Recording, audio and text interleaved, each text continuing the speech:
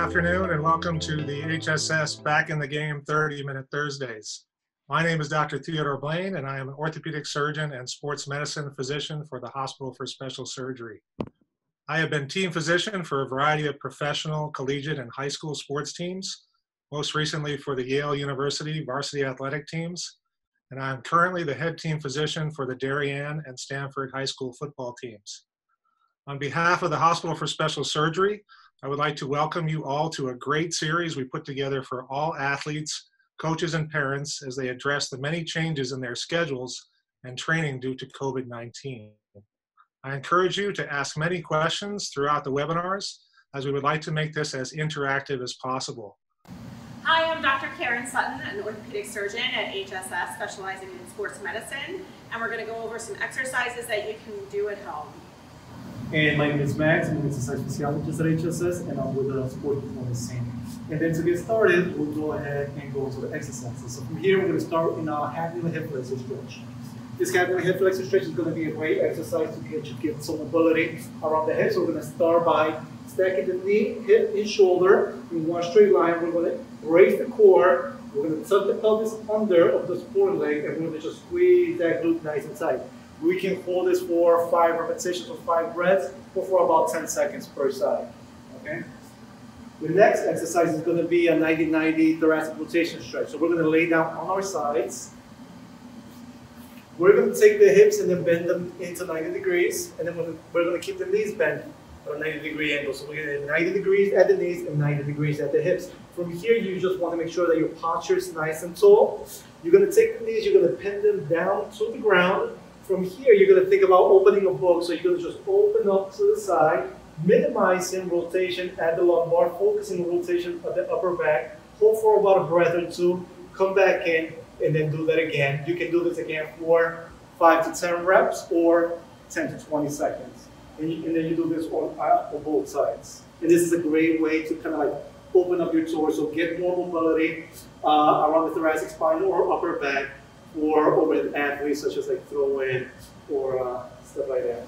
And then the other thing for the beginning part of these two exercises, for those of you who feel like you're on your desk a lot, if you're doing a lot of homeschooling, it's great to be stretched out in the anterior aspect of your body because we're all hunched over at our desks. So anything you can do to elongate your body, stretching out the hip flexors, your thoracic spine, we'll try to focus on that today too. Perfect. The next exercise is going to be a glute bridge. So from this one, we're going to lay down on our backs. Right? This is a great exercise to strengthen your glutes, to strengthen your hips, and as well as your core and posterior chain. From here, we're going to set up by uh, placing the feet about hip width apart, and they're going to be nice and flat on the ground. Here, before you start the movement, you want to think about maintaining a neutral spine. You're going to go ahead and brace your core. Now, you're going to squeeze your glutes and then bring the hips up. You can hold for one to two seconds, go back down, come back up, reset, come back up, or you can hold this for an isometric contraction for a time. You want to try to get this contraction, feeling it at your glutes for around 30 seconds. Okay? Then from this one, you can progress into a single leg glute bridge. So this is going to be like more isolated side, so then you can work on your asymmetries, and you can also see which side may feel weaker than the other side. And then same thing on this one, you can do this for repetitions where you can either go up and down by holding for two seconds on top, or you can just hold a nice isometric contraction at the top for the movement. The biggest thing here is you want to make sure that you're not arching your lower back, you're maintaining a neutral spine, engaging the core, and you're feeling this movement at the hips, okay? I like this one because it brings, as we get back to sports, a lot of your power and stability comes from your core. So the whole time I'm stabilizing my core, and my glutes, and that's what's going to be both engaging power for you guys as athletes as well as injury prevention as we return to sports. And now we're going to move into the core. So another great way, like in order for you to, to be able to transfer power, especially with throw in, and uh, to be able to transfer power down the kinetic chain, you have to have a strong uh, and stable core. From here, we're going to start out by going into a plank.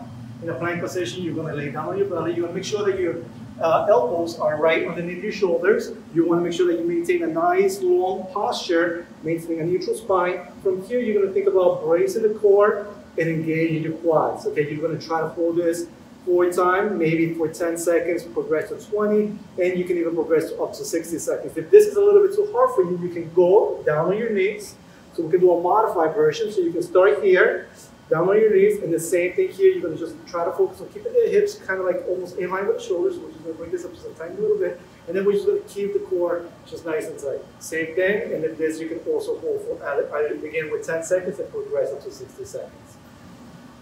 So the plank as well, you can do with your family. So if you have other people at home, it might be nice to challenge each other when you're doing the plank and uh, really getting everybody involved. This is sometimes, we'll do this at work at lunchtime, just do a plank because anytime you can activate that core, it's always a good thing.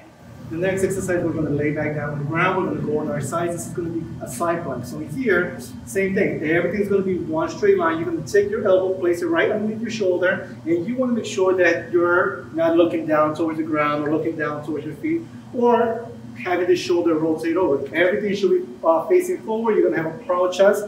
Your core is going to be engaged. You're going to think about taking the hips up towards the ceiling. From here, you're going to aim to hold this exercise from anywhere from 10 to 30 seconds. If this is too hard for you, you can go back down to the ground. You can bend your knees at a 90 degree angle. And the same thing, you can come back up and then try to hold this position. Again, this is a modified and a, a regression to that plank position as well. In here, we can also add a bit of rotation. So in here, we can go back up to the side plank. We can take the top arm, bring it up top, and now we can rotate under and you come back out. So now we're adding a bit of rotation as your uh, field sport athlete, overhead athlete, rotation is also very important. Or maintaining stability around the lumbar spine while you're rotating is also going to be very important. Good? Simple exercise, but you can feel that it's a good one to do. The next one, we're going to start working now on shoulder stability or rotator cuff strength. From here, we're going to lay down on our belly. So this is going to be a prone position. We're going to place our foreheads down on the mat. From here, we're gonna take our arms and then kind of like form a Y position. Here, we're gonna relax the hips, relax the belly. We're gonna take the arms, thumbs up, bring them up So towards the ceiling. Think about pulling the shoulder blades down and back. We're gonna hold this position for about two to five seconds, come back down. You can do this for repetitions, or you can come back up and then hold the contraction for about 10 to, 10 to 20 seconds. From here, that's a Y position. Another one here, you can go into a T position, bring your arms back down. Same thing, you go thumbs up towards the ceiling. You get a nice pinch in between the shoulder blades, thinking about keeping the shoulder blades down and back. And again, you can hold this for two to five seconds, or you can hold it for a time. The last one here is gonna be a W, right? From here, you form a W position with your arms. You're gonna take your arms, and now, same thing, you're gonna pinch your shoulder blades down and back, hold for two to five seconds, or hold for 10 to 20 seconds per, uh, for its up. And this is really good. Again, great for our overhead athletes, our throwers. Lots of sports do involve something with your arm. So we tend to strengthen the front of our bodies, but really work on what Max is talking about, the periscapular muscles in the back. So that's a great one to do at home. Again, very simple. Take your time to do it well. The next exercise is going to be a push-up, a great exercise to develop upper body strength and then great overall strength. From here, we're going to get back uh, on our bellies. You're to make sure that your arms or your hands are right underneath your shoulders. You maintain a neutral spine, a nice straight line from head down to the heels. From here, you're to go down nice and control, making sure that you keep your elbows sort of like a 45 degree angle, right? Then you're to come back up, try to keep one straight line, and then repeat. You can do this, you can start by doing this five to 10 repetitions, and then progress from there. If this is a little bit too challenging for your core, especially for your ability to maintain a neutral spine, you can go down on your knees, and repeat the same uh, movement. This is just a modified regression. This is also where you can start before you go into the more advanced progression.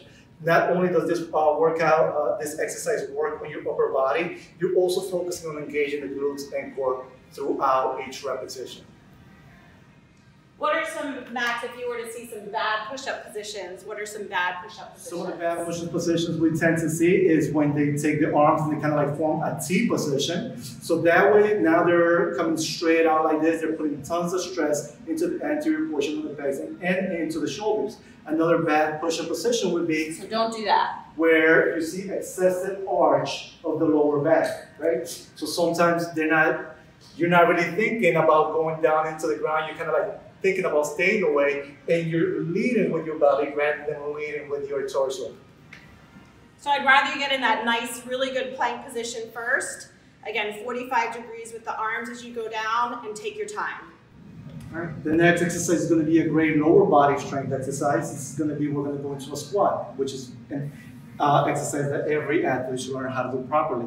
From here, we're going to start by placing our feet about shoulder, uh, about hip or shoulder width apart, making sure that the toes are pointed nice and forward. From here, we're going to think about keeping the knees away from falling into the middle. So pushing the knees out, driving the hips back, and then pushing the arms forward. From here, we're going to descend to a bottom position to where you feel comfortable, and then come back up. You can hold this position, the bottom position, for about one to two seconds, and then come back to up with control. The biggest thing here is to make sure that you're not going down really, really fast. You want to make sure that you're controlling the movement throughout and that you are sitting back into your hips. If this is a little bit too hard for you to start, you can also utilize a chair and then think about sitting the hips back into a chair until you start to engrave that movement pattern. The thing you want to avoid here is having your knees go forward as you start to load the movement because that's going to put more stress on the knees and the, the, the ligaments. Or you also want to avoid having the knees fall in as you go Yeah, into the movement. Okay, you also want to make sure that you're maintaining a nice uh, toe posture and then embracing your core throughout the exercise. The next exercise is going to be a single leg balance exercise. So this is a great way to, uh, if you think of running, running happens from moving to one leg to another leg. So in here, while you're balancing on one leg, a very controlled exercise, you want to make sure that you're able to maintain postural alignment. You want to make sure that your hip stays in line. The, the knee, uh, the ankle, knee, and hip all stay in one straight line. You want to avoid having the hip go out to the side or the knee fall inwards. If we see that that's happening when you just balance on one leg, we can only, we can see what, what can happen as the movement becomes more dynamic, such as running, lunging, or even squatting. You can do this by practicing in front of a mirror. It's sort of like watching yourself, and then try to aim to get at least 30 seconds with proper alignment per side. The other thing that you can add is if you at home have a Bosu ball or maybe a platform that's not as steady. So sometimes there could be a foam mat that you know you might have to balance your ankle a little bit more. This is also a great way to help prevent ankle sprains too. Yep, and then just before we go to the next exercise, another way you can progress this movement, you can turn it more into like a mimicking the, the running position. So you can go into like a RDL position and then come back up. Just a more dynamic way to challenge that balance. And then just like Dr. Sutton said, you can also add a foam pad or a ball support into this movement as well. In here, you're also focusing on making sure that your core stays nice and engaged and that you're maintaining alignment throughout the last series of exercises. This is because as field sport athletes, we move, uh, we move in uh, multi-planar uh, movements. We want to make sure that we're also working multiple, uh, multiple planes movements. So in here, we're going to go into a lunge. Okay, we're going to start by going into a reverse lunge position. Okay, so from here, as uh, you're going to go ahead and step back. As you step back, you want to make sure that you try to maintain postural alignment throughout. Also, another thing, as you're stepping back, you want to make sure that you're watching where the knee is going, avoiding the, the knee cave in, and then trying to maintain as much balance as possible. This is going to challenge your coordination, your balance, and your ability to have strength in uh, on each side. From here, so now that we got movement in the sagittal plane, so this is movement forward and back, we can also add movement in the front plane or movement side to side. From here, we're gonna do the same. This is gonna be a lateral lunge. We're gonna do a lateral step out to the side and then come back into the center. Same thing, lateral step out to the side and then come back into the center. Same thing here, you're still focusing on maintaining postural alignment. Make sure that your knee is pointed straight forward. And as you step out to the side, your toes are also pointed straight forward. Again, I like this as he mentioned because a lot of our sports are not played just forward and backwards. We are going to make those side to side movements, so it's important to add that to your strength and conditioning routine too. And the last one here is going to be a curtsy lunge. So from here, we're going to start by facing forward. We're going to take one leg off the ground, and we're going to reach back and across. Same thing, trying to maintain postural alignment, trying to make sure that the knee stays nice and forward. Again, this is going to challenge your coordination, it's going to challenge your balance, and it's going to kind of like challenge both sides of the body as well. It's a good one. I always feel like you should do that with a British accent though, with the curtsy lunge. Definitely. And that's all good to go, guys. Um, so I'm Nick Sgrignoli. I'm a primary sports medicine doctor at Chelsea Piers. Um, thanks, Karen. Thanks, Max. That was awesome. Um, always good to uh, have some good balance, mix of balance and body weight. I think that's great exercises. So, um, so yeah, my goal for today is to kind of talk to you guys a little bit about uh, staying fit at home. Obviously, uh, we've all been thrown out of, thrown out of our routine at this point, and uh, it's definitely hard to stay on task and keep fit during these times. Um, we know that exercise is a great uh, booster of the immune system, so by all means, get out there and exercise. Also, it's a great stress reliever, so um, so we know it's important. So let's talk about a few ways we can stay safe doing that.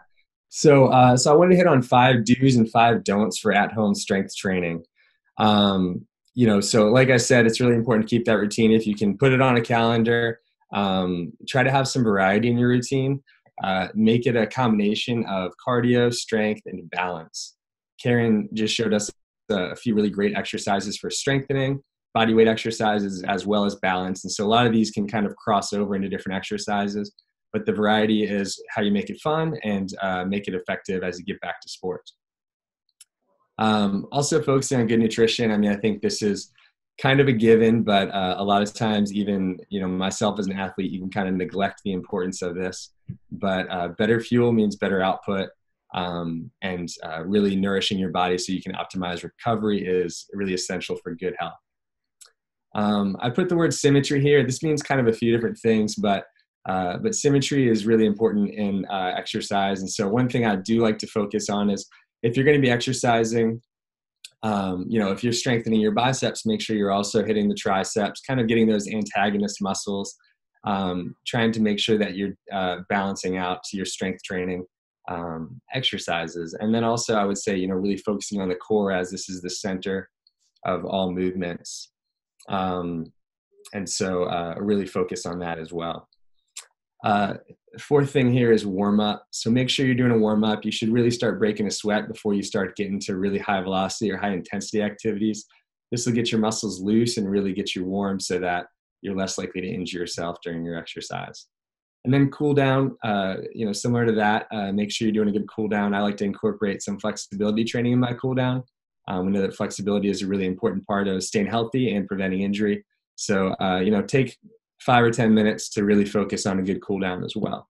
So here are some don'ts uh, as far as strength training at home. So don't forget about sleep. I think uh, we've all, you know, been thrown off our typical routine, but really try to be consistent with your sleep schedule. That's going to give you really uh, the most effective uh, sleep that you can get. And so most young athletes need about eight to 12 hours of sleep. So that's a little bit different for everybody. And as you get older, you do need a little bit less sleep but uh, really talk to your doctor or uh, you know talk to someone experienced about how much sleep you should be getting and try to be consistent about it um, so no staying up late on instagram uh, and you know avoiding your sleep uh, also trying to reach peak performance at this time is really not recommended um, for a couple reasons it's really you know you're not you're not set up and you're not being coached uh, as closely during this time so it's really not great setup for uh, reaching peak performance also, as we know, exercise is a great way to really boost your immune system. But if you overdo it, you can kind of overstress your body and put yourself actually at a higher risk for infection. Um, so, this is a good time to maintain good health so that you can kind of get back into performance later on. Um, increasing intensity too fast, um, also another don't. Um, you know, the purpose of this time right now is going to be maintaining muscle mass, maintaining cardiovascular fitness, and it's really not a time to be ramping things up. But if you do start ramping things up, start slow. Make sure you're doing slow, controlled movements. If you're doing a new activity, uh, use body weight, use light weights, high reps um, as a way to avoid injury. Um, this is really not a good time to get injured, and so uh, you know your focus should be safety while you're doing your exercises at home. Um, and you know, like similar to a, a swimmer wouldn't expect to be able to run a marathon without training you shouldn't hop into a new exercise without um, you know easing into it.